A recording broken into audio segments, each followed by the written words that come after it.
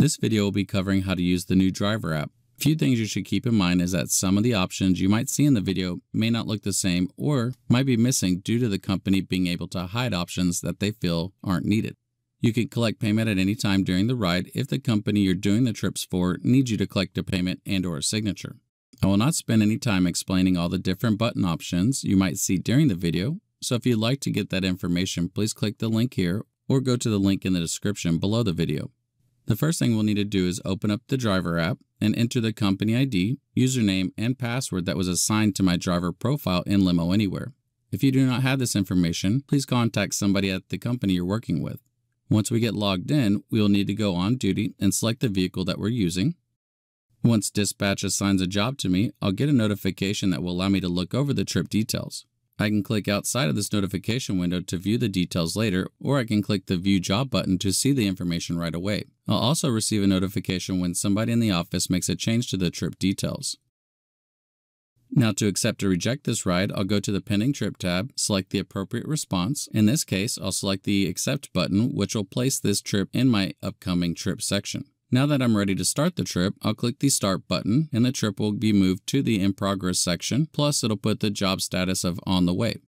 If I've got the wrong car selected by accident, I can quickly change the vehicle by selecting the Requires a Different Vehicle button and then selecting Yes to change my vehicle. If I need to look over the ride information again, I can click anywhere on the job except for the red icons. The red icons will take me somewhere else. Once I pull up the ride details, I can add the miles out if it's required by the company that I'm performing the ride for by clicking the pencil icon and adding it here.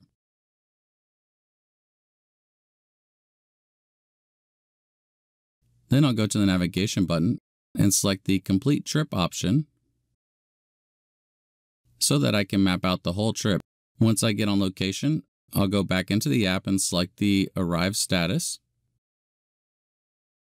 Some companies want the driver to call or text a passenger when on location. We can easily do this by selecting the phone icon. If the passenger hasn't made it to the car and I need to start the wait time timer, I'll go into the reservation and select the pencil icon. Then I'll select the start button. Whoops, there's a problem. They have a grace period. I'll need to wait to start this timer until their grace period is over.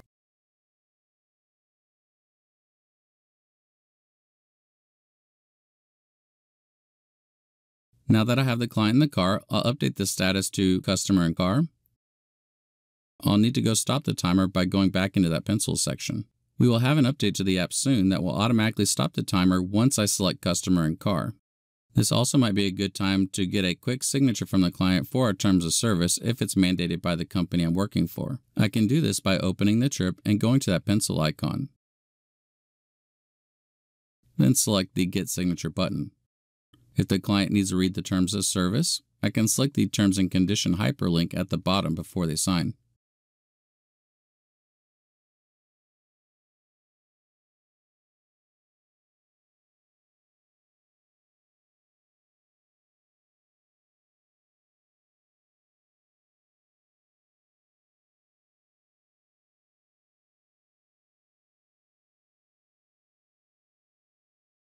Once I drop the client off, I'll select the Done status and update the trip with any additional information the company may want from me, such as pricing, extra stops, attach an image, or miles in.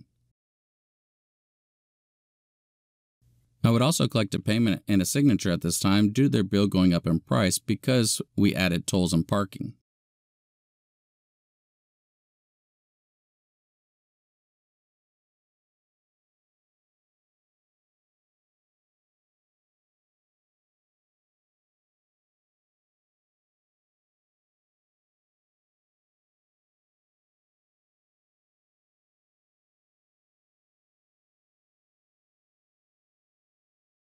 Now that the trip is closed out and paid off, the app will place this ride under the completed ride section.